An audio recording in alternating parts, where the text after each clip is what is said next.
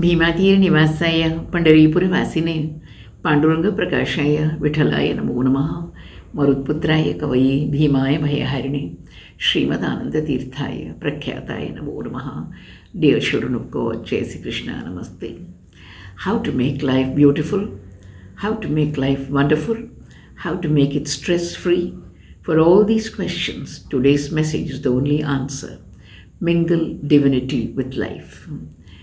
When is man sad or forlorn? When he separates his identity from God? When he obliterates divinity from his life and wallows in distress, forgets to pray, only weeps and weeps on helplessly. He shuts all doors for grace to step in and complains God has shut all doors. He forgets God has wonderful carpenters who can make invisible doors and they will open when all wooden doors look closed. Dear devotee, the crux of all our Hindu scriptures is to note that there is nothing secular about life. Everything is of Krishna, by Krishna, for Krishna. When we wake up, we remember His name and fold our hands in obeisance to Him. We thank Him earnestly for opening one more day in the book of our life. We could have departed from the world in last night's sleep. We wake up to activity and have a bath with the Mother Ganga and Kaveri's blessings to consecrate our bucket of water, to purify us of our known and unknown sins. We wear fresh clothes and sit at the altar to light the lamp with Krishna's name on our lips. He's promised in the Gita to Arjuna, Those who chant my name and listen to my glories, I give them special knowledge by lighting the lamp of knowledge in them.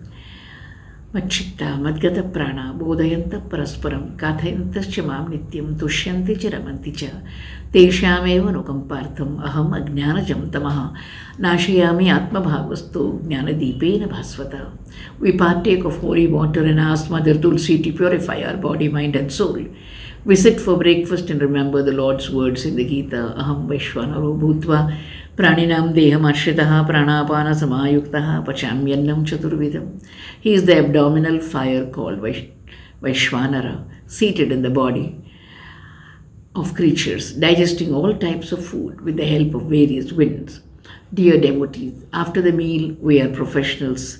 If we are professionals, we get ready for work, which are bread in earner, enter our office as if they are temples of God, wherein our boss's boss is ultimately Krishna. Whatever work we do, we perform to the best of our ability because Krishna has said yoga karmasu kaushalam. We know that nothing goes, nothing that is good goes unrewarded. During the course of the day, praise or blame, whatever is received during the office hours is Krishna Arpanam. Our afternoon lunch is also his prasada. When we go back to our home, that home front has our life partner, uh, our kids, all that is Krishna Prasada.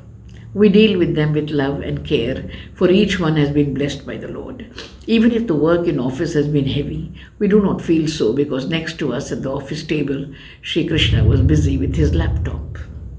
Dear devotee, the evening passes happily with hymns and prayers and lamps lit for Krishna and eating of simple or rich food. It may be chapan bhog, it may be simple pounded rice of Sudama. All are welcome. Mingle divinity with life and go to bed. The Lord sleeps beside you. No, he lies beside you. He does not sleep because he cares for you. Gora Kumbar made mud pots with the Lord's name on his lip. Mingle divinity with life. Sena Nhavi, the barber devotee, had darshan of Vitala in the shaving bowl. Purandar Dasa had Vithoba coming to him to serve him as a boy.